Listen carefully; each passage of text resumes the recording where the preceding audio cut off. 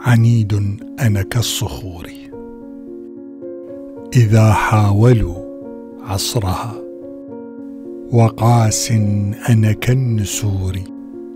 إذا حاولوا قهرها. وصلب أنا كالجسور. إذا أثقلوا ظهرها. وحين أثور. تعيد البراكين لي سرها.